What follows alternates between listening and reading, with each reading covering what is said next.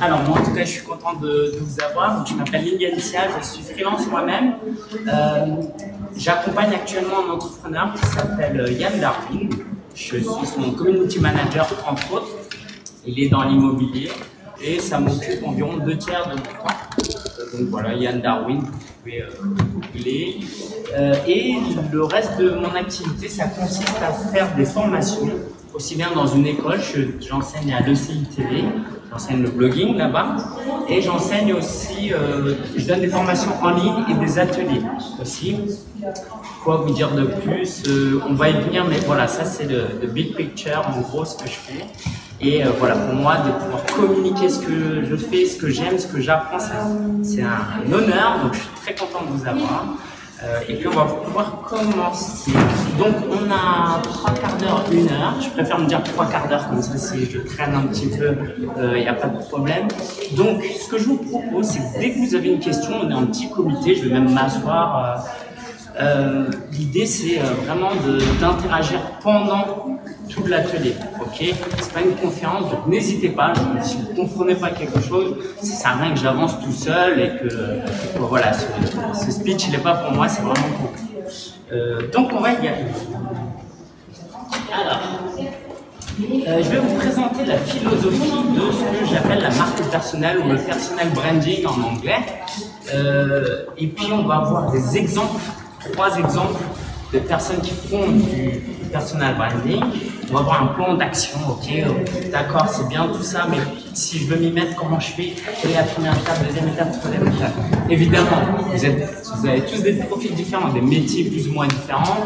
Il n'y a pas une solution pour tout le monde, mais j'ai essayé de trouver un peu un dénominateur commun et si vous, y, euh, si vous ne vous y trouvez pas dans ce que je vais dire, vous n'hésitez pas, vous me dites moi je fais ci, je fais ça, euh, comment je peux appliquer ça moi? N'hésitez pas, j'ai pas peur des, questions pièges, je suis vraiment là pour ça.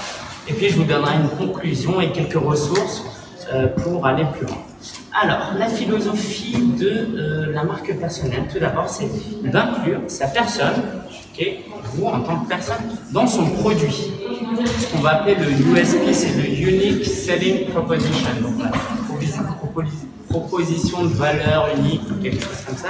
L'idée, c'est que vous êtes différent du freelance qui est à côté de vous, vous êtes différent des autres freelances qui sont sur Malte, euh, d'une manière ou d'une autre, il va falloir vous différencier pas seulement par la qualité de votre produit ou votre prix, d'accord? Parce que si vous jouez à ce jeu-là, vous allez courir et vous épuiser. Si vous cherchez toujours à être, euh, au meilleur rapport qualité-prix, ça va être crevant, d'accord? Là, donc, je je parle à des freelances, mais imaginez euh, celui qui vend des coques iPhone sur Amazon et qui cherche toujours à avoir le meilleur rapport qualité-prix, c'est garanti qu'un jour ou l'autre, il va se faire battre par un concurrent. Donc le but, c'est pas d'avoir une bonne année 2018 ou une bonne année 2021 ou 2030, c'est d'être bon sur la durée. Et pour ça, il va falloir vous différencier euh, dans votre produit déjà.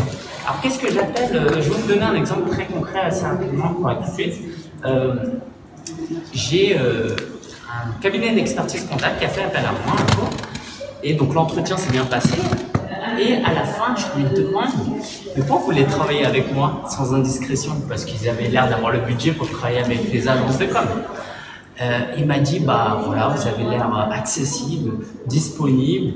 Et bon, je ne l'ai pas lu, quoi, il n'a pas dit comme ça, mais je savais que ce qu'il voulait dire aussi, c'est que vous avez l'air sympa et fiable. Et pourquoi je sais qu'il pensait ça? Parce qu'en fait, euh, ce qui s'est trouvé, c'est que je cherchais un expert comptable, comme euh, peut-être beaucoup d'entre vous, et je suis allé sur Twitter et j'ai euh, posé la question quel est le statut juridique qui serait le plus adapté à mon cas? Et en fait, au lieu de poser ça à n'importe qui, j'ai pris les 4-5 concurrents, les plus gros, et je leur ai posé la question à eux. Et du coup, ils, ils étaient un peu mal à l'aise, il y en a qui répondent, il y en a qui savent pas quoi répondre, et il y en a un qui répond pas du tout. Et une semaine plus tard, je reçois un message privé sur Twitter du dirigeant de cette entreprise qui me dit euh, Est-ce que vous voulez gérer nos réseaux sociaux? En fait, ce qui s'est passé, c'est que euh, il avait une notification comme quoi je, discutais avec eux.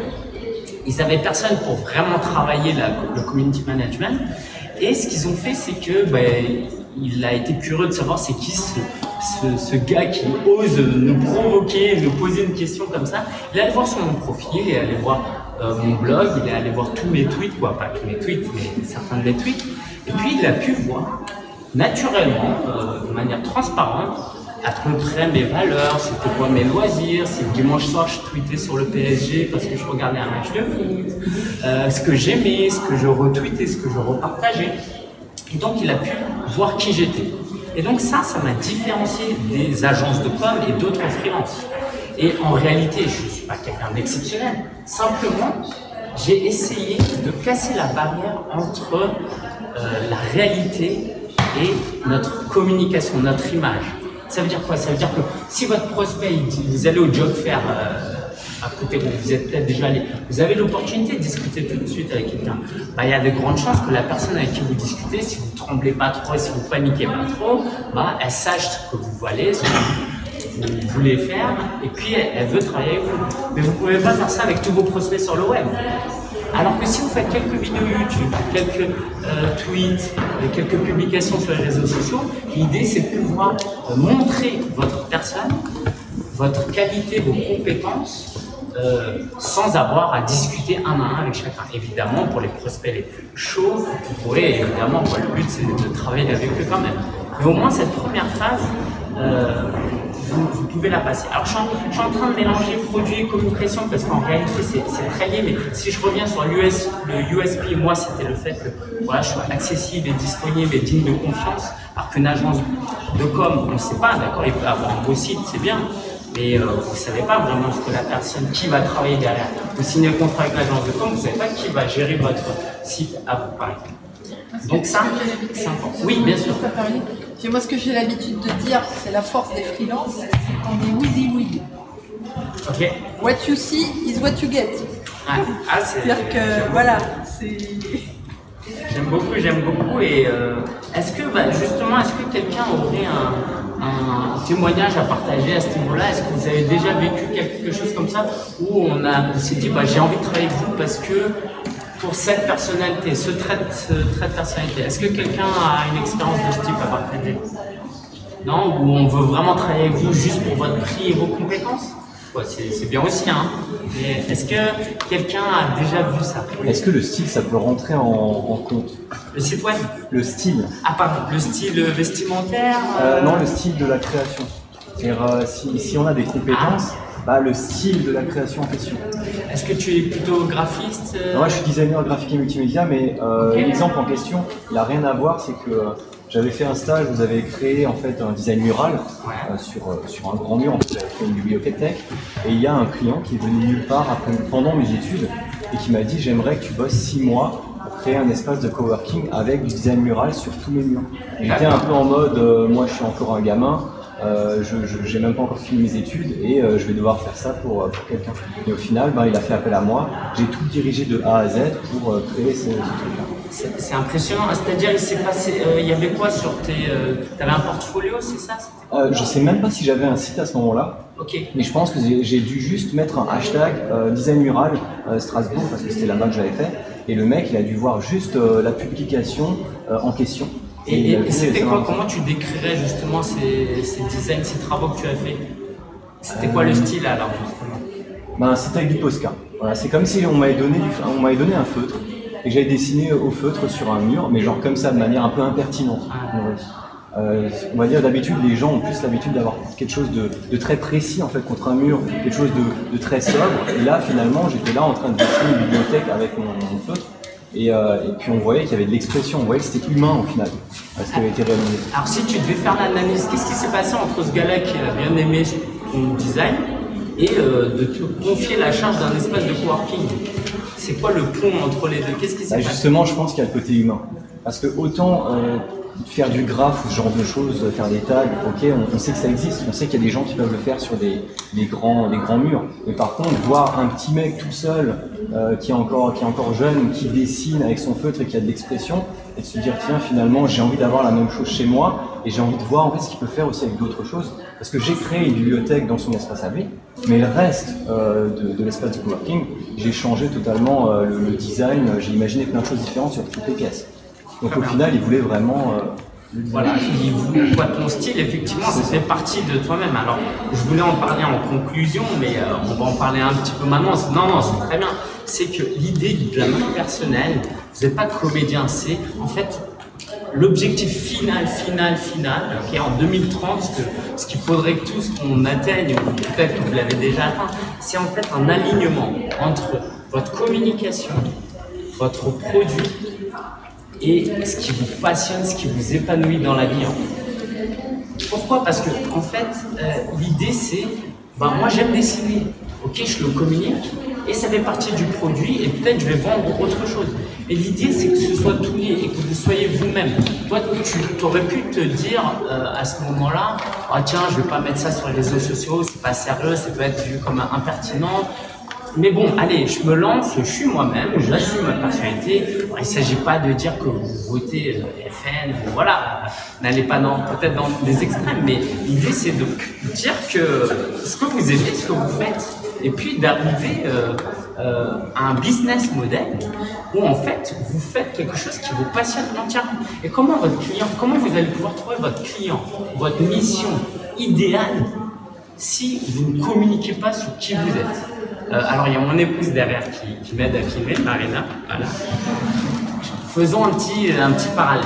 Si moi je ne suis pas moi-même avec elle la première fois que je l'ai rencontrée et que j'ai essayé de jouer, euh, je ne sais pas, quelqu'un que, je ne suis pas, euh, le, gros gars macho qui se la raconte, eh ben, j'aurais pas pu la séduire. ou j'aurais pu la séduire, mais en réalité, ma vraie personne est en décalage avec ce qui lui plaît. En fait, c'est la même chose avec votre business. Si vous êtes vous-même et que vous arrivez à bien communiquer, il y a beaucoup plus de chances que vous trouvez votre client idéal, n'est-ce pas? Donc c'est comme c'est vraiment ça l'objectif. J'imagine que les six mois euh, où tu as travaillé, quoi, je sais plus combien de temps tu as travaillé. Oui, six mois. Six mois. Tu t'es éclaté. C'était génial. Et tu te serais bien, quoi, tu te serais moins éclaté si euh, à, ce moment-là, tu avais travaillé dans une autre entreprise avec quelqu'un qui n'avait pas apprécié ton travail, qui t'aurait pris pour d'autres compétences. Donc le but final, c'est ça. C'est pas juste de trouver des clients, c'est de trouver le client, de trouver la mission avec qui on est vraiment en alignement. Vous allez voir, le reste c'est moins philosophique, hein, on va rentrer dans des choses plus concrètes. Alors je voulais aussi, euh, mais je pense que, voilà, je vais pas t'interroger plus, mais je pense, j'imagine que c'est ton cas, euh, votre produit, mettre votre marque personnelle dans votre produit vous permet d'être respecté dans votre mission. Vous avez tous vécu des missions où bah voilà, on vous engage pour faire ça, et quand vous le faites, bah, on vous dit non, c'est pas ça, on ne vous fait pas confiance. Il y a toujours un petit truc. Alors quelquefois c'est bon, hein, ok, c'est pas parce qu'on vous a engagé que vous êtes euh, tout puissant et que tout ce que vous dites euh, est parole d'évangile. Mais quelquefois c'est très frustrant quand vous savez que c'est la bonne chose et qu'on ne vous fait pas confiance. En fait, travaillez votre marque personnelle. J'en ai pas parlé, je vous en parle Moi, par exemple, je suis l'auteur d'un livre qui s'appelle Le Guide du blogueur chez Erol. Si je dis ça à mon client potentiel et qu'après on travaille ensemble, alors déjà, j'arrive à négocier une prestation, euh, un TGM un peu plus élevé. Ok, le gars est auteur, il sait de quoi il parle. Et puis quand on travaille, il y a beaucoup plus de chances qu'il écoute ce que je dis quand même. Parce que j'ai écrit un livre, il a peut-être lu, il a vu que j'étais bon. Parce que c'est pas tout d'avoir une mission. Je pense qu'il y a. Alors, le pire, c'est pas avoir de mission peut-être, mais la deuxième chose qui arrive après, c'est d'avoir une mission où pendant un an, on vous écoute pas, vous n'êtes pas apprécié pour votre travail, on vous respecte pas. Et ça, comment on va le faire? Bah, les gens avec qui vous allez travailler, votre boss, il va vous googler, il va regarder sur YouTube. Plus il va avoir du contenu vous vous montrez, vous, vous valorisez. Là, par exemple, c'est enregistré ce que je suis en train de dire. C'est pour ça que j'ai un micro et la vidéo, ce que je vais mettre sur YouTube après. L'idée, c'est moi de créer ma marque personnelle. Je prends de mon temps, on n'est pas payé pour ça, mais en contrepartie, je fais en sorte de valoriser euh, mon expertise pour que bah, peut-être il y a d'autres événements à d'autres événements, je suis, invité, où il y a des prospects qui vont se dire Ah, le gars, il a donné euh, trois quarts d'heure de, speech euh, au freelance faire, bah, euh, j'ai envie de travailler avec lui.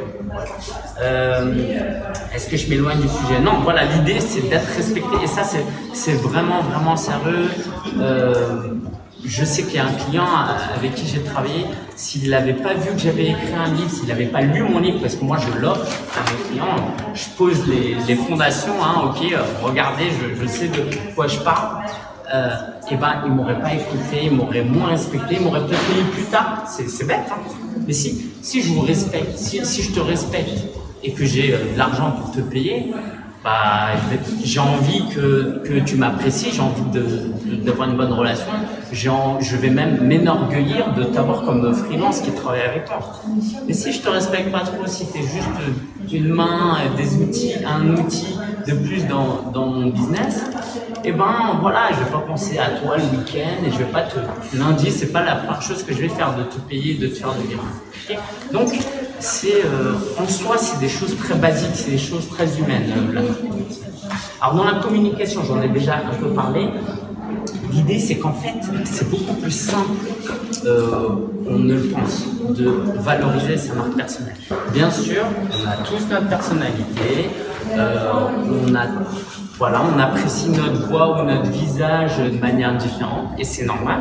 Et il faut surtout pas croire tout de suite déjà que les youtubeurs que vous regardez, par exemple, ils s'aiment beaucoup, les premières vidéos, ça s'est super bien passé. Ça, c'est, allez voir leurs premières vidéos, euh, vous allez euh, rire un peu. Donc ne pensez pas que c'est difficile. Pourquoi? Parce que Théo, là, euh, moi je fais un vlog par exemple, je raconte mon quotidien d'entrepreneur. J'étais dans le Uber en venant, j'ai pris ma caméra, j'ai mis le micro, euh, le chauffeur, il n'a pas compris ce que je faisais, mais j'ai juste parlé à la caméra. D'accord? Donc le coût, c'est zéro parce que mon smartphone, je l'ai déjà. Alors ce micro, il coûte peut-être 50 euros. La qualité, elle est moyenne, mais en même temps, on n'attend pas de moi simple freelance, voilà, simple, euh, simple freelance, voilà. Euh, c'était pas juste freelance que je voulais mettre entre guillemets, c'était le simple freelance. Euh, on n'attend pas à ce que je produise des super vidéos. Et si vous commencez à vouloir avoir une super vidéo de vous-même, bah déjà ça prend un an de trouver le bon gars, le bon pote qui fait ça gratuitement. Mais comme il fait ça gratuitement, il va falloir attendre six mois ou sinon on va falloir payer, c'est trop cher. Non, commencez tranquillement peut-être pas dans votre chambre ou sinon qu'elle soit bien décorée. Euh, et puis commencer à faire des vidéos très simples. Et on va, on va rentrer un peu plus dans le vif du sujet euh, après. Et, l'idée, c'est encore une fois de se différencier dans sa communication. Parce que si euh, vous cherchez, moi par exemple, si je cherche à concurrencer des agences de com dans leur spot YouTube de 30 secondes super bien faites avec du motion design, je suis très mal barré. Par contre, en me mettant en valeur moi-même, en parlant en fait juste en étant moi-même, bah, je me différencie. Parce qu'au final, votre prospect, même si vous travaillez avec la Maïf ou avec n'importe qui, l'acheteur qui va travailler avec vous, c'est un être humain. C'est pas le département euh, com qui va travailler avec vous, euh, le département RH, c'est pas euh, l'entreprise qui travaille avec vous. En réalité, c'est une personne qui, à un moment ou deux, trois personnes qui décident de travailler avec vous. Donc cette personne, elle va être sensible à votre humanité, à votre côté humain. Donc c'est juste ça qu'il faut valoriser et qui va vous différencier des grandes marques. Et vous, on le voit, il y a des tendances qui montrent que euh, les grandes marques ont de moins en moins euh, d'impact. Vous voyez un, Facebook par exemple avec ce qui s'est passé avec les 50 millions de comptes. vous voyez que c'est de plus en plus dur d'avoir une marque qui, a la confiance des gens pendant longtemps.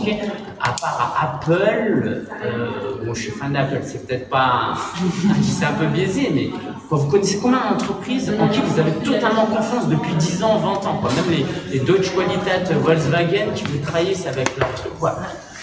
Donc, alors qu'en tant qu'être humain, vous pouvez, si vous êtes, euh, et j'ai envie de croire que vous êtes des gens bienveillants et, des gens qui ont un bon fond, bah, valorisez-le, vous êtes constant et vous n'allez pas vous laisser avoir par une mauvaise chose, une mauvaise communication. On ne va pas vous critiquer parce que il y a une faute d'orthographe dans votre tweet, etc.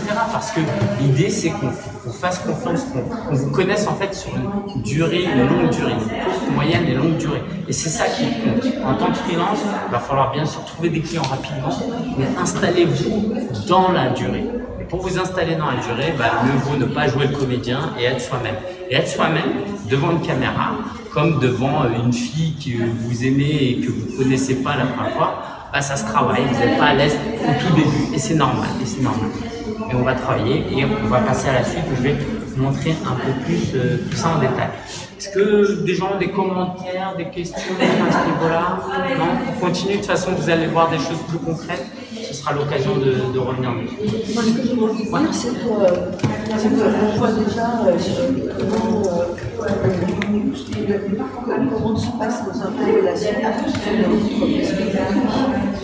C'est-à-dire, qu'est-ce que tu veux Bah, dire C'est-à-dire que, que comme quand on faisait les propositions, donc là sur notre Facebook privé, Ouais. c'est des formes de curation et on voit bien euh, les, les, de notre, de euh, environnement. euh, On n'appelle pas cette communauté mais on appelle pour bah c'est, je, suis- d'accord. Euh, Alors, il y a une expression qui dit euh, qu'en regardant votre linge, on peut savoir quelle est votre personnalité, un truc comme ça. Moi, je pense qu'en regardant votre Facebook, on peut savoir quelle est votre personnalité. Euh, et c'est un bon exemple que tu parles de Facebook parce que euh, vous allez voir aussi que bah, les gens ils ont de moins en moins envie de suivre votre marque. Moi, ma marque, par exemple, c'est Solopreneur. Je ça fait 20 minutes qu'on parle là, je vous ai même pas parlé de Solopreneur encore. Je vous parle de Lingencia parce qu'au final, euh, euh, la marque passe en dessous du freelance ou euh, de l'influenceur. Et en fait, sur Facebook, il y a une tendance en ce moment, vous l'avez peut-être vu ou non, mais les pages professionnelles, les pages entreprises, sont en train de switcher. Les gens utilisent leur nom, prénom. Moi, avant, par exemple, c'était solopreneur, livre de sa passion devient possible, un truc comme ça. Maintenant, c'est lingencia-solopreneur.fr. Et je vois beaucoup de gens qui font ça, qui mettent leur prénom et leur nom euh, avant leur marque. Et votre nom de domaine, qui parmi vous a un nom de domaine, euh, prénom, nom ou nom de famille? Vous levez la main Ok?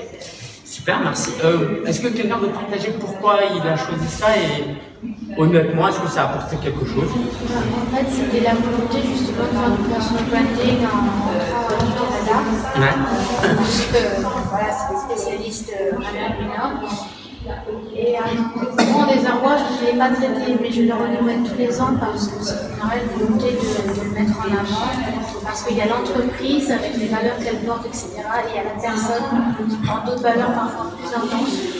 Et euh, les deux sont liés, mais on n'attire pas les mêmes clients. Ok. Est-ce que tu veux présenter un peu plus ton activité et nous dire qu'est-ce qui te fait penser que c'est important euh, de manière tangible quoi? Dans ton quotidien, qu'est-ce qui te fait penser que c'est important de travailler ton C'est- bon, en fait, le- Donc, les ton activité, pardon, Ouais, d'accord. dans les changements récents de mon activité, moi, à la base, Ouais, ouais, je suis, euh, fais du conseil en développement d'entreprise avec une spécialité à l'international. Du Nord, vous en même temps, de l'autre côté, moi j'ai évolué, je suis passée à un régime alimentaire à changer, euh, etc. Et ma passion, ce que je suis, euh, j'en ai fait mon business. C'est une seconde partie. Cette partie-là, ce business-là, je ne peux pas le présenter à l'ensemble de mes clients. Donc l'entreprise a part de ses valeurs, qui sont l'accompagnement, euh, le développement des entreprises, le coaching, des, des, des chefs d'entreprise, etc. Il y a Florence Dussault, qui elle est végane, qui elle est une expertise dans son, dans son domaine, qui peut l'apporter à des grands groupes comme à des petites entreprises. Et, euh, et c'est vrai que j'ai des déclics aujourd'hui de me dire ah, ah je n'ai pas fait pour rien et on va peut-être euh, enfin le mettre euh, en activité. C'est vrai qu'avoir son nom de domaine avec son nom, prénom, bah, c'est très important justement pour ce genre de choses, par exemple. Alors c'est quand tu dis l'idée c'est de fusionner, c'est ça que tu veux Alors dire pour l'instant, je ne pas le fusionner euh, parce que euh, je l'ai bien vu qu'il y avait, euh, voilà, il y avait des, c'est un, c'est un facteur limitant parce qu'en ce moment, on beaucoup justement les véganes, euh, c'est un peu limitant, même moi ça me fatigue. et, euh, voilà. Donc il y a ça, et, euh, et à côté de ça, je, je aussi fait de la communication animale, je fais du soin énergétique et tout ça. Donc c'est des choses qu'il faut qu'ils restent avec nom propre, qui vont m'apporter une clientèle différente, qui certainement va se rencontrer avec l'autre clientèle, mais je ne peux pas la fusionner pour l'instant. Et donc tu t'offres par exemple du coaching en entreprise, hein, Absolument. Comment tu t'appelles pardon? Florence Dussault, Florence Ok, merci. il y a X. Ok, merci beaucoup. Bah, vous voyez, euh, alors juste, je, fais la remarque et je, je vous donne la parole. Vous voyez, aujourd'hui, vous avez besoin d'un coach en entreprise, bah, il y a beaucoup plus de chances que vous vouliez travailler avec Florence. Alors, vous allez peut-être googler Florence Dussault, parce que ça, vous allez forcément le faire, ou sur LinkedIn. Vous êtes un peu curieux, vous allez peut-être tomber sur son profil perso. Alors, c'est là qu'on se dit, ah, est-ce que c'est une bonne ou une mauvaise chose? Euh, Bah, j'ai envie de dire, le freelance un peu star qui a le, voilà, qui a fait ses marques, il va se dire, euh, bah, si le gars il dit, oh, vegan, euh, moi, j'aime- moi je suis carnivore, euh, je prends le travail, franchement, vous n'avez pas besoin d'un client comme ça. Si c'est pour se taper quelqu'un de relou durant un an, c'est pas la peine. Donc, j'ai presque envie de dire tant mieux. Alors, quand on est au début de son activité, bon, on prend tout, hein, je, je sais ce que c'est. Mais l'idée, c'est ça, c'est tant dire ça. C'est, bah, finalement, euh, il y a Florence Dussault et il y a deux, trois autres freelances. Tiens, elle, elle est végane. Moi, j'ai réfléchi, ma fille est végane, ma femme est végane. Ah, vas-y, bah, tiens, je vais, je, vais, je vais la prendre en entretien et puis on va voir comment ça se passe. Et ça Donc, ça peut- fonctionne, et ça fonctionne Bah aussi oui. parce que ça m'a effectivement, encore, j'ai eu la semaine dernière, pour l'activité 100% vegan et l'activité internationale, c'est autre chose. Autant les deux se rejoignent, parce que je travaille dans le végétal, je travaille avec des agriculteurs, on est, quand même censé être euh, ensemble et travailler dans la bienveillance. Mais c'est pas encore le cas. Super. On y travaille. Merci. Alors, il y avait euh, deux personnes qui voulaient intervenir. Ouais, moi j'avais deux questions en fait euh, par rapport à cet exemple-là que je trouve très intéressant. Euh, moi je viens de, de lancer mon activité freelance et je suis restée deux heures chez OVH devant mon nom.com en n'y arrivant pas du tout. donc je me suis dit là il me faut une marque, donc j'ai trouvé une marque. Euh, mais je trouve que par exemple dans votre exemple, solopreneur, c'est hyper euh, parlant. Euh, quel avantage vous voyez à communiquer sous votre propre nom? Ça, c'était ma première question. Et là, je comprends bien le, ce que, ce que l'activité végane peut apporter à votre marque. Donc, euh, mais là, dans votre cas, par exemple, je vois pas bien l'intérêt de mettre votre nom plutôt que solopreneur. Ça, c'est la première question. Et la deuxième question, c'est comment on différencie ces réseaux sociaux perso de ces réseaux sociaux pro dans sa communication? Est-ce qu'il faut le faire? Est-ce qu'il faut ouvrir ses réseaux perso, euh, parler du PSG euh, Très bien. Euh, alors, si ça vous dérange pas, on peut tous se tutoyer, ok? Donc euh, voilà, si ça te dérange pas, comme ça, voilà, je suis à l'aise de vous tutoyer soyez à l'aise de me tutoyer. Donc la première question, pourquoi avoir mis en avant, quoi, pourquoi je passe à l'Ignetia bah, Parce que tout simplement déjà dans le networking, les partenariats, vous l'avez peut-être compris, c'est la clé qui vous fait passer du niveau 1 au niveau 5. ok? Quand vous êtes freelance et que vous avez des gens qui commencent à vous recommander, à vouloir travailler avec vous, c'est là que ça explose et qu'un jour vous allez vous retrouver à monter vos prix parce qu'il y a trop de gens qui vous recommandent. Ça, donc, quand vous créez des relations avec les gens, bah, les gens, ils ont envie de suivre votre compte sur le. Par exemple, moi, mon compte Instagram, je voulais, quoi, je sais que si je les suis, par exemple, si, si j'ai envie de copiner avec toi parce que tu es un influenceur, on s'est vu, on a envie de collaborer, si moi je te suis sur Instagram avec solopreneur.fr, avec mon logo S, voilà, ça donne moins envie de moins cliquer, incarné. de t'abonner en retour. Alors que, et donc ça, je le vois. Donc quand vous travaillez avec des partenaires, ça joue. Moi, sur LinkedIn, quoi, a rien de- désolé si c'est votre cas, pardonnez-moi d'avance, mais quelqu'un qui me demande à m'ajouter en contact avec son logo, je, je zappe tout de suite, quoi. Sauf si je vois qu'on a 50 amis en commun. Parce que sur LinkedIn, j'ai pas envie d'être ami avec une marque, ça n'a rien d'attirant. Sauf si, je sais pas, t'es. T'es- voilà. ouais, comment il s'appelle Johnny Hive. T'es Johnny Hive, euh, tu mets le logo. Mais lui, il mettra jamais le logo, par exemple. Vous voyez Donc, voilà, donc, donc déjà, dans les partenariats, je sais que le relationnel est plus fort, comme ça, il est plus humain. Euh, après, dans ma marque, bah, je n'ai pas complètement supprimé Solopreneur, euh, mais l'idée, c'est que dans mon contenu, je, je- deviens de plus en plus, euh, joue de plus en plus cette carte de l'influenceur. Parce qu'en fait, ça me donne beaucoup plus de liberté. Je suis Lientia, je vous raconte mon week-end, je vous raconte ce, ce qui s'est passé au Freelance Fair, je vous raconte comment ça s'est passé avec un client, alors que vous imaginez, euh, solopreneur.fr vous parle de son week-end de travail, euh, de sa journée au freelance fair. Alors je suis obligé de mettre les effets, le logo, la musique, euh, et j'ai pas le temps de faire ça, j'ai pas le temps. Et puis aussi j'ai envie de créer de la proximité avec ma communauté. Alors, on n'est pas tous dans le métier, hein. dans le même métier, je suis d'accord. Mais moi, mon métier, c'est de créer de la proximité avec les gens. Plus je suis proche de vous, plus je suis à votre hauteur, mieux c'est. Si je suis loin avec un, un logo et je suis sur une scène, bah, ça va pas jouer en ma faveur. Et donc pour ça, encore une fois, c'est important pour moi d'avoir cette marque personnelle. Est-ce que je peux juste rajouter une Oui, chose là-dessus? En fait, ce serait juste par rapport à la complexité du, du nom et prénom. En fait, moi, je, Ah. je dis ça parce que moi, en fait, mon nom de famille est compliqué. Ah. Euh, pareil. il y a Euh, combien de exemple, C'est quoi ton, ton... alors moi, mon prénom c'est Johan. Ah. Pas trop de complexité parce qu'on peut peut-être enlever ou rajouter un H, mais par contre, je m'appelle Hegele. Alors, euh, je suis certain qu'il n'y a personne qui saura l'écrire. Les guélés Hegele. Hegele. Parce que c'est H-A-E. hein, Sinon, par tu exemple. Johan H. Par exemple, par exemple, je, je l'avais fait, je l'avais déjà fait. Mais c'est vrai qu'à ce niveau-là, en fait, je me demande comment est-ce qu'on peut faire Parce que euh, c'est vrai qu'il y a des gens qui ont des, des noms et des prénoms qui sont vraiment, euh, on dirait que c'est marketing, mais non, c'est un vrai nom prénom. Alors comment est-ce qu'on peut faire Johan H pour un designer, ça fait bien, ça fait penser au manager de mode, ça me paraît euh, même, même des, noms qui paraissent simples peuvent être mal. Tout à fait. Alors moi, je vais, euh, euh, je vais dire, c'est quoi un prénom stylé Donne-moi un, quelqu'un de... Je sais pas, avant j'ai parlé avec euh, un, un designer qui s'appelait Kevin Trésor.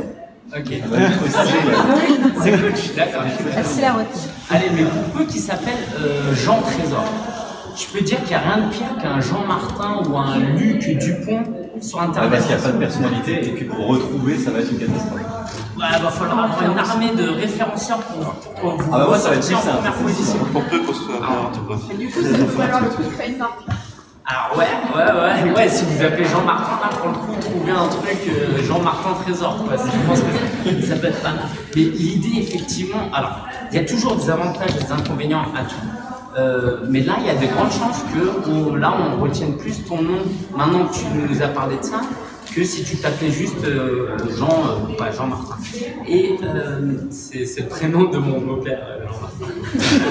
Euh, et et l'idée, c'est bien sûr, il n'y a pas que des avantages, mais je vais te montrer un gars qui s'appelle Gary Vaynerchuk. Est-ce qu'il y en a qui connaissent Gary Vaynerchuk Oui. Ouais. Salut Antoine. Ouais, c'est un influenceur, je vais vous en parler. Je peux vous dire que c'est un nom super compliqué, mais ça peut jouer en sa faveur d'une certaine manière. Mais c'est Gary Vee aussi. Ouais, alors c'est Gary Vee pendant très longtemps, mais il disait par exemple que Gary Vee, euh, bah, comment vous écrivez Gary Vee? Vee. Alors, lui il disait qu'il a mis V-E-E en anglais, parce que c'est un américain. Et il disait qu'en fait c'était un très mauvais choix, parce que les gens ils savaient pas non plus, euh, quand il disait Gary Vee sur scène, les gens ils savaient pas comment l'écrire.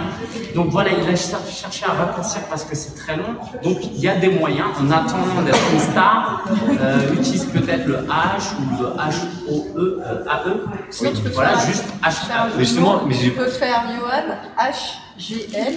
tu mets des petits et. euh, Et justement, j'ai pensé, j'ai imaginé, est-ce qu'on peut le raccourcir, genre euh, John Edge, ce genre de choses, euh, changer le mot, euh, mettre un, un mot plutôt euh, avec de l'anglicisme, enfin ce genre de choses, euh, voir si ça pourrait aller mieux.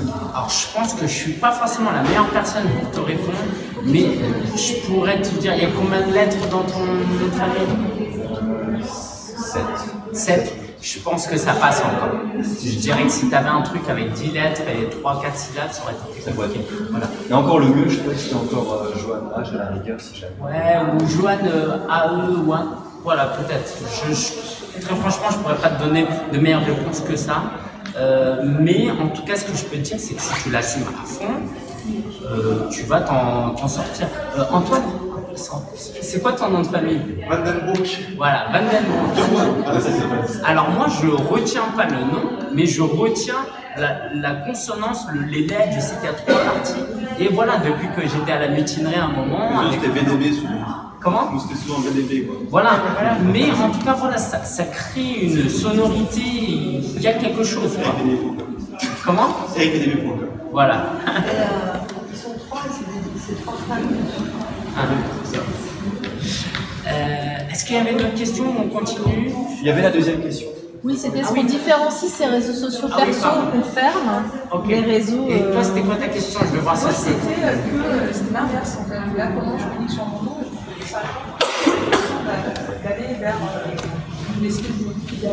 C'est quoi ton métier par exemple Ok. Et tu Développement web, mais euh, orienté sur certains types de projets. Projets plutôt euh, OSS, innovation sociale.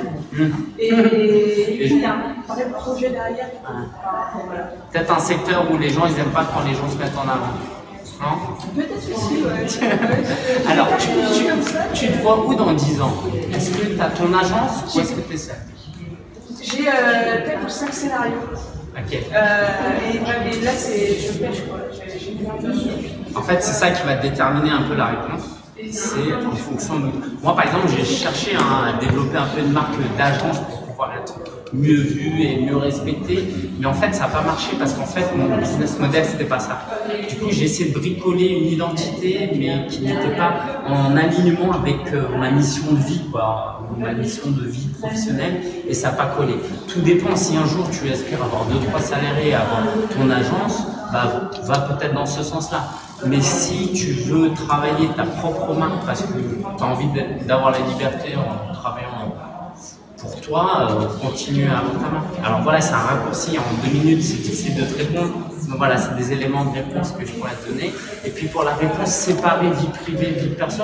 Alors ça aussi, encore une fois, c'est compliqué. Moi, par exemple, en, tant, qu'homme, euh, j'ai beaucoup moins de difficultés. Mais si j'étais très jolie j'aurais beaucoup plus de mal à fusionner ma vie perso et pro.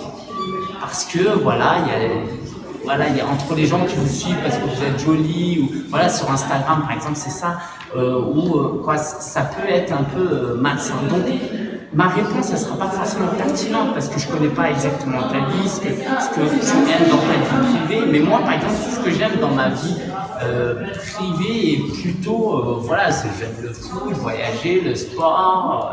je, rien de très euh, euh, tropical ou euh, exotique. Donc moi, j'ai pas de difficulté à mélanger. par contre, je vais pas forcément. Alors moi, par exemple, je mets un peu en valeur mon neveu. dans mes vidéos, maintenant qu'il grandit, il a de moins en moins envie que je le mette en avant. Mais l'idée, c'est que, bah voilà, si j'ai la chance de faire un métier et j'ai la chance, je l'ai construit dans ce sens. J'ai un métier où ma vie personnelle et ma vie pro se mélangent parce que je l'ai voulu. Si vous, vous n'aimez pas, euh, par exemple, accueillir un prospect euh, dans votre salon, chose que je peux totalement comprendre, bah, c'est peut-être un signe comme quoi il faut peut-être mettre un peu de distance. Mais mettre de la distance, ça ne veut pas dire devenir totalement euh, hermétique. Partager certaines choses quand même. Et vous avez des exemples, je peux vous donner. euh, par exemple, si vous allez sur Le Sens du Poil, c'est une agence. C'est deux co-auteurs d'un livre, Le Sens du Poil. Euh, le livre, c'est Devenir un pro des mots. J'ai interviewé Charlotte Blondet. Et elle fait du personal branding, mais sans trop en parler. Donc, c'est googler le sens du poil, agence. Voilà, vous allez voir qu'il y a un bon branding qui est fait sur la page, qui raconte un peu l'histoire de l'agence. C'est un peu personnel, mais pas le côté non plus euh, voici ce que j'ai mangé ce week-end. On continue parce que euh, le temps avance. Euh, alors, trois exemples. Gary Vaynerchuk, donc euh, Antoine connaissait. Euh, alors, Gary Vaynerchuk, grand influenceur. Euh, je me suis, alors, il y a Gary Vaynerchuk, il va avoir Enjoy Phoenix, et on va mettre moi parce que je me connais bien, pas parce que je suis au même niveau. Euh, donc, en fait, c'est un influenceur qui a une grosse agence de pommes, l'un des premiers à avoir vendu du vin sur Internet, par exemple. Et euh, il a créé une- un tel personal branding autour de lui qu'il a des fans, euh, voilà, des millions d'abonnés. Et il a même eu une collaboration pour sortir ses propres chaussures. Vous imaginez, vous, un jour, un freelance qui sort ses propres chaussures Euh, bah, C'est possible. Ok, alors c'est pas possible, pas pour tout le monde, et on n'est peut-être pas dans le même pays, mais le jour où vous sortirez des chaussures à votre marque, Là, je peux vous dire que vous n'aurez plus jamais besoin de prospecter. Parce qu'il y aura un bouche à oreille, il y aura du buzz, je veux dire, euh, c'est fini. Trouver des clients ne sera plus un problème, vous pourrez passer à un autre stade, d'accord Euh, alors c'est pas fini, il n'a pas juste fait des chaussures, il a sorti des livres, donc voilà, c'est un livre que je vous recommande d'ailleurs, qui parle de marque personnelle, Euh, vous pouvez prendre la référence. Et- alors j'y ai pensé, waouh, comment tu Dans la as... mesure où c'est une marque dans laquelle les gens peuvent s'identifier. Bien sûr, bien sûr. Alors, si ça vous intéresse à la fin, je vais vous proposer de vous inscrire, par exemple, à une, euh, une série de vidéos que j'ai réalisées. Et quand vous me donnerez votre email et que vous êtes intéressé, en fait, je compte faire des mugs avec d'un côté euh, work hard, c'est-à-dire travailler dur, de l'autre côté play hard, c'est amusez-vous à fond. Et la philosophie derrière, c'est pas moi qui l'ai c'est que quand vous voyez work hard, vous travaillez à fond. Parce qu'en tant que freelance, voilà, on a tendance à, mélanger quelquefois travail et Facebook perso. Mais quand on travaille, on travaille à fond. Et quand on s'amuse, on s'amuse à fond. Donc c'était un mug que je voulais faire. Euh, donc c'est une bonne idée, je l'ai déjà eu un petit peu. J'avais fait des t-shirts que j'en ai vendu un petit peu. Euh, voilà. Mais je suis très loin de ce monsieur parce que vous allez voir la suite. Chaussures, déjà, ça n'a rien à voir, un livre, ok. Mais sachez qu'il a une série de chaussures hors série, en série limitée, pour son livre. C'est-à-dire que c'est des chaussures aux couleurs du livre qui sont sorties exprès pour le livre en série limitée. Donc vous voyez le truc, il fait la promo de ses livres, ça fait la promo de son livre, qui fait la promo de son agence, et il se crée, et en fait ça fait boule de neige et il devient de plus en plus influent. Euh, et ça, c'est pas de la science-fiction. Alors tout le monde n'est pas Gary Vaynerchuk, mais on peut tous tendre. Voilà, moi si je suis à 1% de Gary Vaynerchuk, c'est pas mal. Donc euh, on peut tous essayer. Euh, je voulais vous parler de Enjoy Phoenix que vous connaissez peut-être un peu, c'est une grande youtubeuse dans le maquillage. Alors je connais pas trop ses vidéos parce que c'est pas quelque chose qui m'intéresse. Mais en analysant un peu, en voulant travailler dessus, je suis tombé sur une vidéo qu'elle avait fait. Alors bon, ça tombe bien qu'elle soit petite. C'est une vidéo où elle parle, où la vignette est petite, où elle parle de son acné en fait. Elle raconte euh, son acné, photo à. Et vous dites, attends là, la fille, elle essaie d'impressionner les gens, d'avoir une communauté, mais elle montre son acné, euh, les difficultés qu'elle a eues dans sa, vie. Il n'y a pas un truc qui cloche. Elle a surmonté euh, ces problèmes de vie d'adolescent. Le problème de... La Ah voilà, et donc voilà, c'est ça. En fait, c'est qu'elle a réussi à communiquer ce message je vous comprends. Et le jour où vous arrivez à dire à vos prospects je vous comprends, ou que lui comprend que vous comprenez, bref, vous m'avez compris, euh, on est d'accord, les choses sont bien plus faciles après. Donc, cette idée d'être authentique, ne parler pas que de ses réussites, mais de ses échecs, de ses faiblesses, ça crée un lien émotionnel. Encore une fois, en face de vous, vous avez un être humain. ok? C'est pas un outil euh, qui, alors peut-être le gars, il va sur Malte et il cherche le meilleur rapport qualité-prix, il a un algorithme, tout ça, mais la plupart des entreprises n'ont pas ça et ils vont essayer de voir le côté humain du. Et donc, c'est important. Alors, de cette vidéo, elle est partie à faire des pubs dans le métro. Je ne sais pas si vous vous souvenez de cette euh, série de pubs. Il y avait Cyprien, il y avait Norman dessus. Donc vous dites, vous dites mais le jour où euh, les youtubeurs font la pub dans le métro, c'est que là le monde commence à changer un petit peu. On est d'accord. Hein Euh, et encore une fois, bah, elle, comme beaucoup d'influenceurs, bah, c'est des gens qui font ça avec une caméra, qui sont dans leur début, ça commence modestement, et puis petit à petit, on ajoute la lumière, on script, on prend plus de temps à travailler ces trucs, et on commence petit à petit, petit à petit à raconter. Euh, son parcours, notamment, elle a publié un livre aussi. Euh, voilà, elle a publié un livre. Euh, donc, c'est un parcours qui est possible pour chacun d'entre nous en fonction de nos aspirations, évidemment. Ça, c'était après que je parler. Alors, ici, donc moi, j'ai le guide du blogueur. Alors, le guide du blogueur, donc c'est un livre où, euh, à chaque début de chapitre, en fait, je raconte un peu un peu mon histoire. C'est un livre qui aide euh, des gens qui ont une passion à créer un blog, à développer une communauté et à vivre de son business. Après, voilà, je vraiment un raccourci.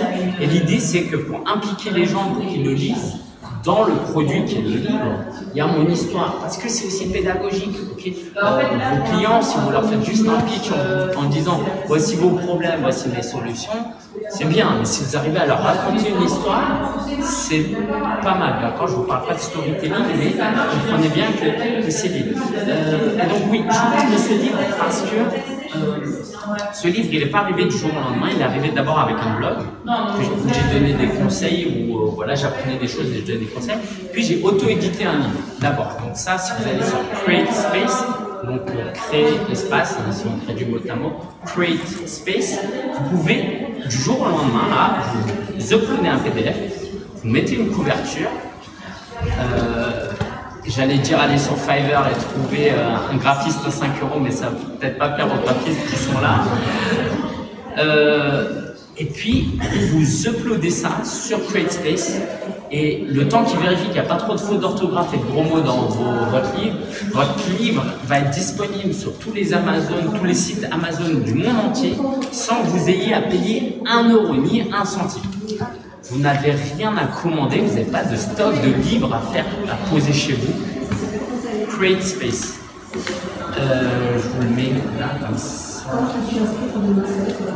Euh, et euh, vous gagnez en plus. Alors, si vous vendez votre livre 5 euros, comme moi je l'ai fait au début, moi je, l'ai mis à 5 euros parce que c'était un produit d'appel. Je ne voulais pas gagner de l'argent dessus. Je voulais que les gens ils se procurent mon livre, qu'ils voient mon histoire, mon travail, et puis qu'après ils se disent bah, j'ai envie de travailler avec lui. Voilà, euh, je vois bien de quoi il est capable, je vois ses compétences, je vois son histoire, son parcours. J'ai envie de travailler avec lui. Donc ça, c'était ma stratégie. Et si vous le vendez à 10 euros, juste pour que vous sachiez, vous gagnerez même 3-4 euros sur chaque vente. Alors après, bon, c'est Amazon avec tout ce que ça implique, mais c'est un autre sujet. Euh, en tout cas, moi, ça m'a bien servi. Euh, et c'est avec ça, quand j'ai amené ça à Erol, que j'ai pu publier ça. Et euh, alors, juste pour vous montrer, hein, au, dos du livre, il y a parce que voilà, c'est ça que je construis. Je veux pas euh, être juste un producteur de- d'encre sur papier. Je veux travailler ma, ma marque personnelle. Ça, c'est un premier livre d'une série de beaucoup de livres ou de conférences où je vais pouvoir donner mon message. Et donc, il faut que les gens comprennent et que mes partenaires comprennent que je suis pleinement impliqué. Parce que ça aussi, c'est un truc, c'est que les gens qui, euh, je vise vraiment personne, hein, mais les gens qui parfois ne veulent pas euh, se livrer, bah, peut-être qu'ils cachent quelque chose. Alors, le problème le plus grave qu'il pourrait y avoir, c'est qu'en fait, il n'est pas dans un business qui lui plaît. Ça, c'est peut-être le plus difficile à accepter. Exemple, euh, je suis designer parce que je suis bon, j'ai toujours fait ça. Ça fait 10 ans que je fais ça. Bah, je vais pas parler de, euh, de mon engagement politique parce que je veux pas mélanger les choses. Mais le problème derrière, c'est encore une autre question, hein, c'est peut-être parce que en fait, vous n'êtes pas fait pour être graphiste. Il y a un moment donné, il va falloir faire quelque chose qui vous passionne vraiment dans la vie, qui est peut-être la politique. Alors vous allez peut-être pouvoir faire une transition et faire des logos gratuits pour euh, les partis politiques qui en ont besoin. Là, je pense que si vous, voulez, si vous voulez offrir des prestations gratuites pour pouvoir euh, intégrer ces, ces partis, c'est- une bonne méthode. Euh, au revoir. Désolée, je peux Non, pas non, pas de souci. Tu suivras ma chaîne YouTube, il y aura le Tu replay. seras au au cocktail demain ou pas? Non, je ne serai pas là. D'accord, bah, je suis sur YouTube alors. Voilà, ça marche. Euh, et donc, l'idée, c'est euh, où est-ce que j'en étais Euh, Se livrer. Ah oui, vous faites une transition. Et en fait, peut-être que vous êtes fait pour travailler dans la politique. C'est pour ça que vous n'arrivez pas à vous mettre en avant. ok? Ça, c'est peut-être une question qui fait mal et je suis pas meilleur que vous. Simplement, je, je vous encourage à vous poser la question.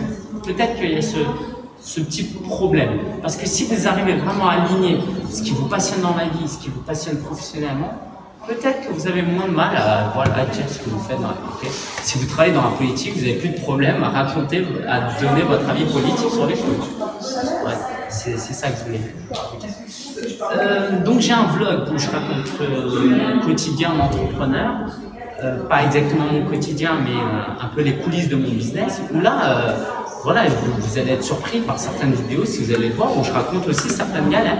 Et donc il y a des gens qui m'ont dit, mais t'es fou, qu'est-ce que tu fais? T'es en train de dévaloriser ton image. Sur le court terme, oui, c'est vrai, peut-être. Mais sur le moyen et long terme, c'est comme ça que je gagne aussi la confiance des gens. Parce que quand vous montrez vos faiblesses et qu'après vous réussissez, ça a beaucoup plus d'impact que quand vous juste vous réussissez du jour au lendemain, euh, overnight success, vous êtes une star, waouh, comment le gars il a fait, bon d'accord, c'est- bien.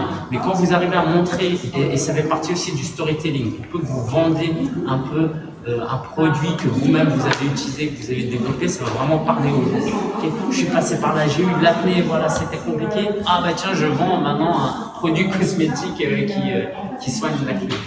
Euh, donc voilà, le vlog c'est des vidéos où je raconte un peu mon quotidien. Je fais des podcasts audio. Est-ce que parmi vous, il y a des gens qui écoutent des podcasts audio? Ok, super. Euh, podcast audio, pour ceux que ça passe, c'est des émissions préenregistrées euh, que vous écoutez, que, vous enregistrez, que vous pouvez, que vos auditeurs peuvent écouter. Et ça, ce qui est très puissant, euh, c'est que vous parlez de manière intime dans l'oreille des gens, et donc vous vous rendez inoubliable au- au- auprès de ceux qui vous écoutent. Vous imaginez euh, quelqu'un qui vous chuchote pendant 30 minutes dans votre oreille, bah, vous ne pouvez que vous en souvenir. Un jour, j'étais à une conférence, je posais une question, j'étais dans le public, je posais une question, je m'étais pas levé, il y a quelqu'un qui, qui, qui est venu me voir après qui m'a dit Mais j'ai reconnu ta voix, je l'ai déjà entendue. Vous voyez Ça, ça peut être très puissant. Et le podcast commence à se développer de plus en plus. Je l'ai mis dans les plans d'action après. Euh, il y a une plateforme aujourd'hui qui peut être très puissante. Le blog, euh, très très important. Un blog, ne pensez pas juste à c'est des- du texte écrit. Quand vous faites des podcasts, quand vous faites des vidéos, vous pouvez le mettre sur votre blog. Au lieu de dire à vos prospects, allez me chercher sur YouTube. D'accord, super. euh, je cherche quoi sur YouTube? Vous mettez toutes vos vidéos, votre portfolio sur votre site, sur votre blog. Donc quand vous sur votre carte de que je pourrais vous partager après, euh, si vous voulez, voilà, vous mettez une adresse euh, et les gens ils retrouvent tout sur cette adresse. Donc tout que vous créez, le portfolio, il y a une adresse unique, donc c'est important d'avoir votre propre site, votre propre nom de domaine. Le problème avec les médias sociaux, c'est qu'on donne l'impression qu'on n'a plus besoin de créer de site. Je peux vous garantir que la dernière fois, on m'a prospecté sur LinkedIn. Et à un moment, j'ai dit, ok, cool, euh, t'as un site pour présenter tes prestations? Et, la personne m'a dit, bah, va voir, bah, pas dit, va voir, mais moi je l'ai compris comme ça, j'ai compris, va voir sur mon profil, tu verras, ce que je fais. Voilà, donc tout de suite, je me suis dit, c'est une amatrice. Ok, Alors c'est peut-être pas vrai, justement, c'est ça le défi. C'est peut-être pas vrai, elle est vraiment très compétente. Mais elle n'a pas réussi à communiquer, à valoriser sa marque personnelle pour nous montrer, pour me montrer que c'était une professionnelle. Donc ça c'est le quoi, il a. Si vous êtes débutant et que vous n'arrivez pas à travailler votre marque personnelle, bon, j'ai envie de dire c'est justice. Mais si vous êtes très bon dans ce que vous faites et que vous n'arrivez pas à valoriser votre marque, votre compétence, c'est très grave. C'est c'est vraiment très très très dommage. On est d'accord. Euh, voilà, ça, le reste, je me suis présenté. Alors, il nous reste peu de temps. Oui, oui. Alors, un blog, pardon, c'est un, c'est un vi- euh, vidéo blog. C'est un blog en vidéo. En gros, voilà, moi, j'essaie, euh, vous filmez, vous dites, voilà, aujourd'hui, je suis en train de travailler sur ce projet, j'ai ces difficultés, mais ça, ça se passe bien. Ou aujourd'hui, je, fais, je, suis en- je suis dans le train, je vais aller voir un client à Tours. Voilà, voilà, vous racontez un peu votre quotidien. Ça n'a pas vraiment de valeur en soi, mais vous créez un lien avec votre communauté. Euh, si vous voulez un exemple de blog, c'est Paul Taylor. Vous connaissez euh, What the F Friends? Un truc qui est sur. euh, Donc il a fait un blog où il raconte son quotidien de comédien à Paris. C'est passionnant. Moi, ça m'intéresse pas du tout d'être comédien, euh, parce que je le fais déjà dans mon business un peu en fait. Mais je, ça m'intéresse pas du tout. Mais c'est passionnant de regarder son truc et ça donne envie d'aller à son spectacle. Donc voilà, euh, vous allez voir, il monte son chat, il parle de, ses trajets en voiture, c'est en soi inintéressant, mais le lien qui, est créé vous donne plus envie de, de consommer. De consommer. Euh, je vais passer au plan d'action très rapidement. Alors, trois étapes. Visibilité, crédibilité, contenu, marketing, networking et prospection. Ça, je le mettrai, euh, je vous donnerai l'accès à ce plan euh, par la suite si vous inscrivez à ce que j'ai à vous offrir euh, après en bon marketeur. Alors, la première chose, c'est de développer votre visibilité, votre crédibilité. On en a déjà parlé, ça tombe bien, donc j'ai pas besoin de revenir pleinement dessus. Créez votre site, euh, créez votre compte sur Malte, même s'il y a aussi des inconvénients. surtout, alors Malte, ils ont pas bien fait leur com cette année. Ils sont partenaires ou pas Ah oui, c'était Upwork. Donc Malte.fr, hein. ils sont partenaires ou pas Non. Vous avez vu la marque Elles le sont peut-être pas. Ils sont présents, ok. Euh, c'est une super plateforme où vous pouvez mettre votre profil euh, et partager euh, vos compétences et aussi trouver des clients comme ça et avoir des recommandations sur cette plateforme. Et du jour au lendemain, ça peut vous donner de la visibilité. Euh, je vais vous le donner en travaux pratiques, on n'a pas le temps, je vais vous inviter à le faire après. C'est googler votre prénom nom. Ouvrez une fenêtre en navigateur privé, mettez votre nom prénom, parce que c'est ce que va faire votre prospect. Et regardez le résultat. Si vous n'avez pas du tout votre euh, nom prénom en première page, en première position, euh, c'est dangereux et Malte peut régler ce problème-là. Alors Malte, quoi, là, ils sont pas très bons en référencement, mais ça va venir. Euh, LinkedIn, c'est indispensable. Quand vous créez un profil LinkedIn, comme ils ont un bon référencement, bah, vous allez pouvoir être très bien classé. et Malte, c'est dans la même idée. Comment? Je l'ai mis après, c'est pour ça. J'ai essayé de. Voilà.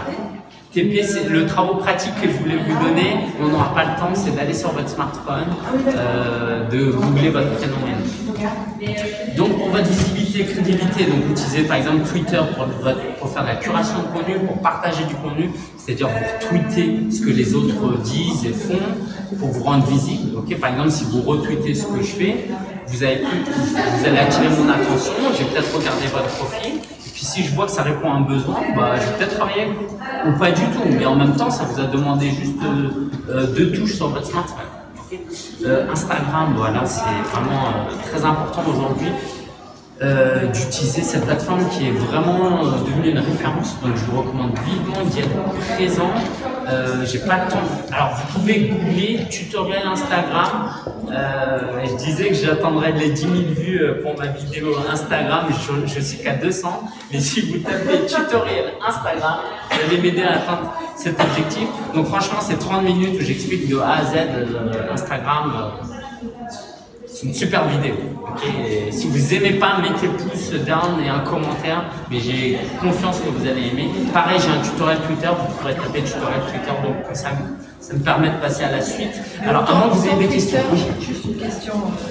Autant Twitter, bon, pour la création de contenu, tout ça, oui, mais Instagram, quand on n'est pas dans, dans l'image, C'est quoi ton métier? Ben, moi je fais du conseil en communication. Ouais.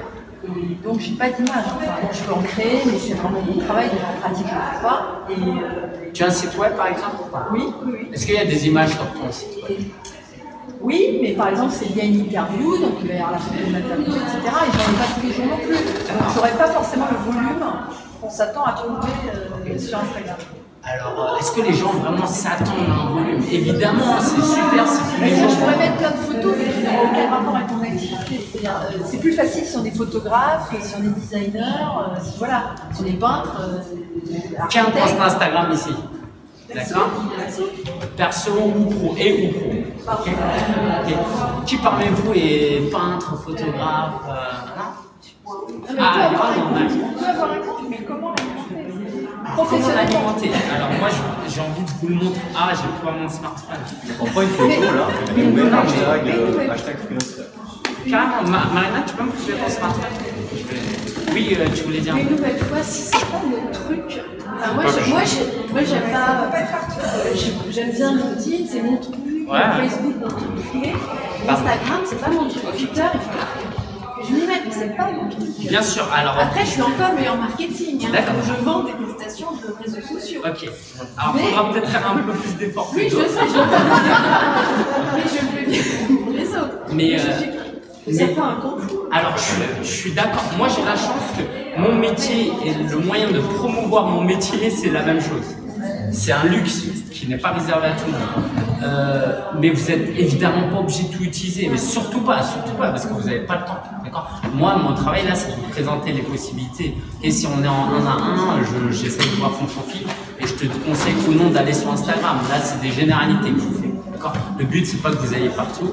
Euh, par contre, ce, qui est important que je vous dise, c'est de ne pas dire c'est pas fait pour moi ou euh, j'ai pas l'appareil photo pour euh, ou euh, je comprends pas comment ça marche donc je fais pas avant même d'avoir essayé. Ça c'est vraiment euh, problématique parce que si vous n'avez jamais essayé, bah bien sûr que c'est pas fait pour vous. Moi la première fois que j'ai enregistré un podcast et que j'ai entendu ma voix, Heureusement que j'avais un peu confiance en moi et que j'ai réussi à passer le truc, mais vous pouvez pas aimer ce que vous faites tout de suite, du jour au lendemain, c'est impossible. Par contre, vous avez le devoir d'essayer.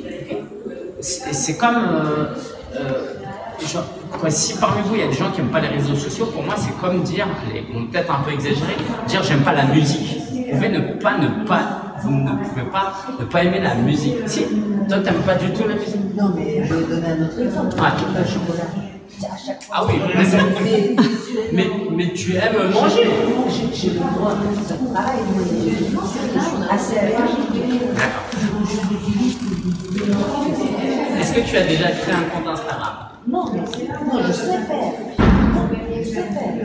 Je sais faire. Je suis allergique.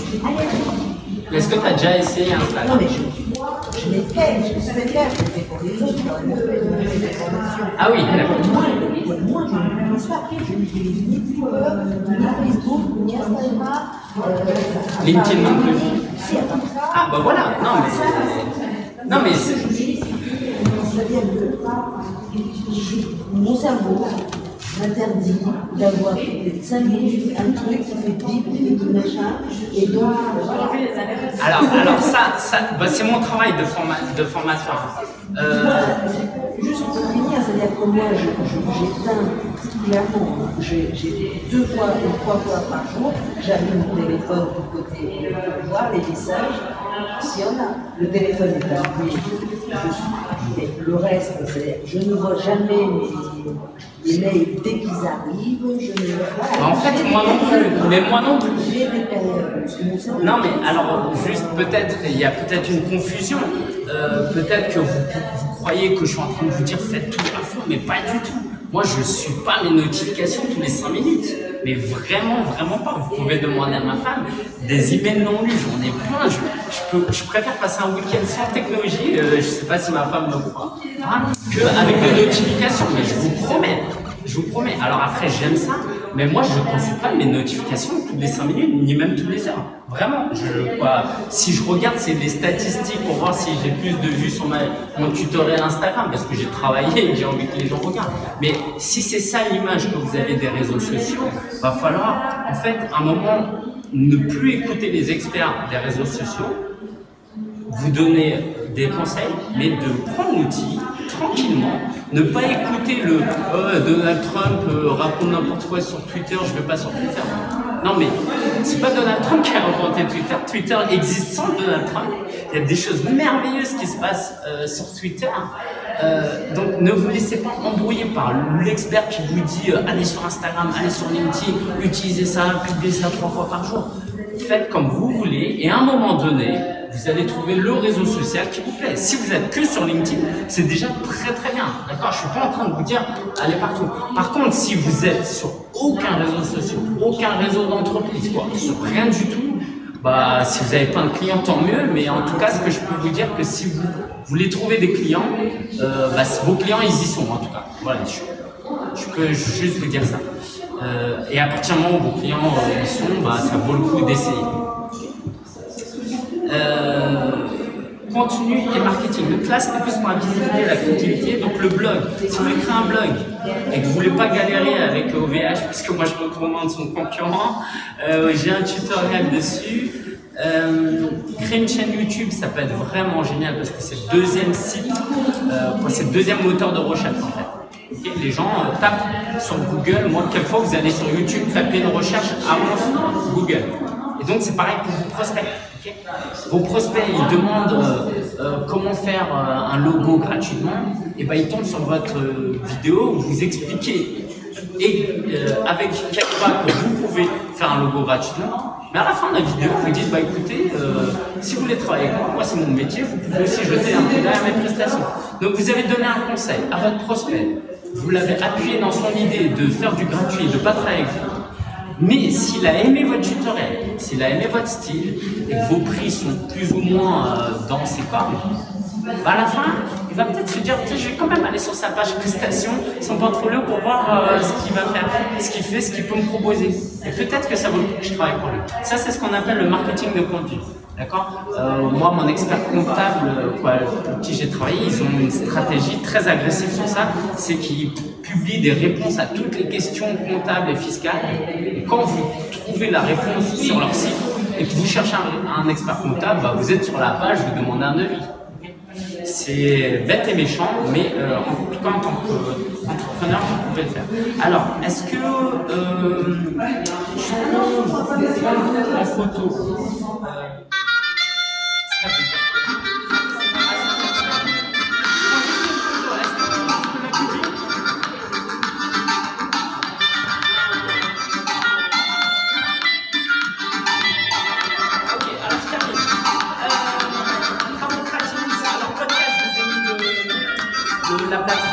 encore.fr.fm. Vous pouvez euh, créer votre podcast, podcast là-dessus. Comme travaux pratiques, je voulais vous donner, euh, euh, trouver 5 idées, 5 questions qui se posent vos prospects et vous créez du contenu dessus. D'accord? Donc, idéalement sur votre blog, mais aussi sur Medium peut-être ou sur LinkedIn publié.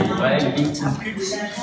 Donc l'idée c'est de créer, de, de répondre à cinq questions que se posent vos prospects, cinq problèmes qu'ils ont, d'y répondre.